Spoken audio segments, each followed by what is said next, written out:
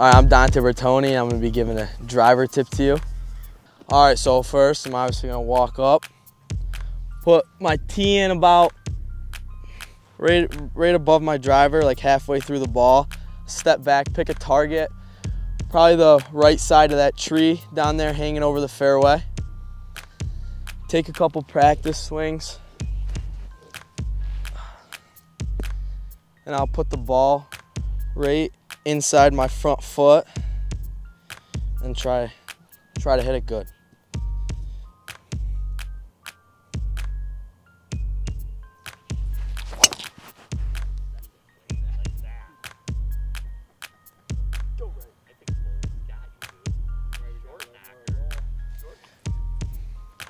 I guess that's how you do it.